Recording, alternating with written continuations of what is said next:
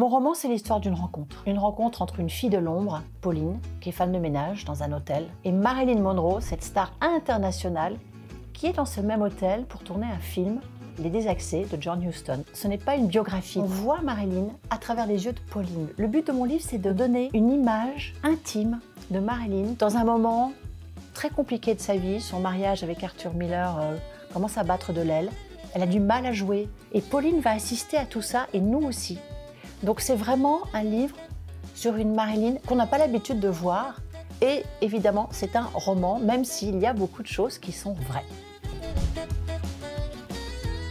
Je me suis beaucoup intéressée à cette période précise de sa vie, donc euh, juillet 60 dans Nevada, à Reno, dans cet hôtel.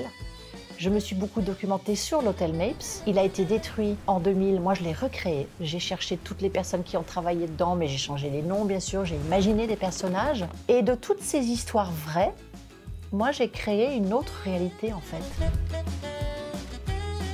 C'est une idole pour moi depuis mes 13 ans. J'ai vu certains Lem Show pour la première fois à ce moment-là. Et j'ai été tellement touchée par cette femme qui était à la fois belle, émouvante, fragile et drôle. Parce que c'est un cocktail euh, assez particulier, hein, ces quatre choses à la fois. Très tôt, j'ai économisé pour acheter un flacon de Chanel numéro 5. Et puis j'allais voir ses films régulièrement. Je lisais toute la littérature que je pouvais trouver sur elle.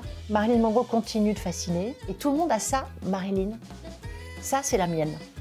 C'est ma vision, c'est ma rencontre avec Marilyn Monroe et je vous emmène avec moi.